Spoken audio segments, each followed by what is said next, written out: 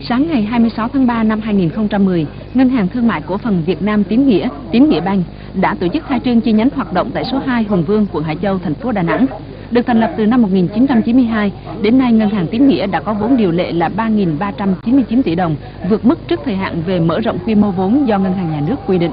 Chiến lược phát triển kinh doanh 5 năm tới của Tín Nghĩa Banh là sẽ phấn đấu trở thành một trong 10 ngân hàng thương mại cổ phần lớn trong cả nước về vốn, mạng lưới, công nghệ, sản phẩm dịch vụ. Vì vậy, để đẩy nhanh hoạt động kinh doanh, trong năm 2010, Tiến Nghĩa Banh đã xây dựng kế hoạch mở rộng mạng lưới chi nhánh phòng giao dịch tại các thành phố có tốc độ phát triển nhanh và Đà Nẵng với vai trò là trung tâm kinh tế xã hội lớn của miền Trung là một trong những địa bàn ưu tiên phát triển của ngân hàng Tiến Nghĩa. Việc mở chi nhánh ở thành phố biển này sẽ góp phần đẩy mạnh và phát triển kinh tế địa phương, cung cấp thêm nhiều sự lựa chọn và cung ứng các dịch vụ hiện đại cho khách hàng và doanh nghiệp trong khu vực.